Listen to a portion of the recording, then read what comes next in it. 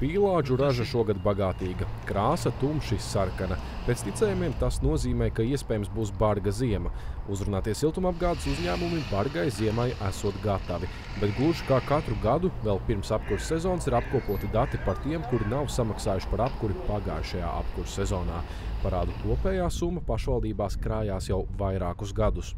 Iepriekšējās ziemās esam bijuši tuvu enerģetikas krīzei. Īpaši 2022. gadā norāda Latvijas pašvaldības savienībā. Arī šogad parādnieku netrūkst, bet viņu ir mazāk. Aizdītā ziema bijusi maigāka un attiecīgi arī parādu ir mazāk. Īstā vārdā ja nenosauc, bet tālu no šīs krīzes mēs nebijām. Arī šie saucamie nemērķētie atbalsti bija tas, kas faktiski izglāba Latvijas tautsēmniecību. Tagad gan parādu apjoms samazinājies vai palicis nemainīgs, un kurināmā izmaksas šogad būšot zemākas, norāda pašvaldību savienībā. Arī uzrunāties siltumenerģijas uzņēmumi norāda, ka tendence ir pozitīva. Piemēram, Sijā Rīgas siltums atbild, ka rīdzinieku maksājuma disciplīna ir stabila un būtiski nemainās jau vairākas apkurses sezonas.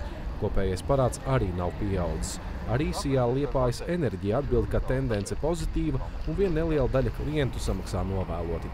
Arī no Cēsīm, Siguldas, Reizeknas un Daugavpils saņēmām līdzīgas atbildes. Viens Sālspilī siltumapgādes uzņēmums norāda, ka septiņām daudzdzīvokļu mājām iespējams apkurt nepieslēgs.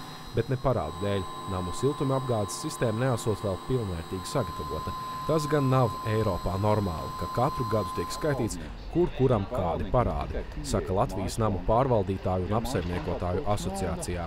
Latvijā šie parādi sako līdzi īpašniekam, bet citās valstīs parādos iegrims nevis persona, bet īpašums.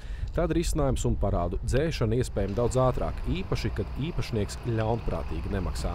Tie paši pieminētie īgauni, viņi jau pirms desmit gadiem nesaprata, ko mēs katru rudeni cepamies saviem parādiem.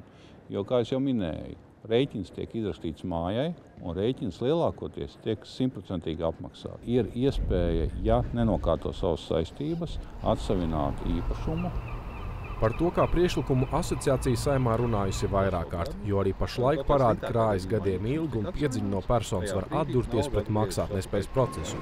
Bet kā pretargumenti bijuši, ka iedzīvotāji nedrīkst zaudēt dzīves vietas, būtu jāvienojas par izņēmumiem, kā ģimenes ar bērniem un seniori, tālāk gan šāds priekšlikums nav ticis skatīts. Dāvids Frenenfalds, Aigars Kovļevskis, Latvijas televīzija.